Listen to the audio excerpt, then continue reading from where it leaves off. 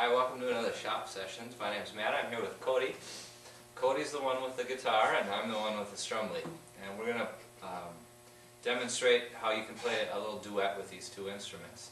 Our songbooks uh, for the Strumbly have numbers so that the Strumbly can play the melody, and then above the lyrics for the songs are chords. So guitarists can play along with chords.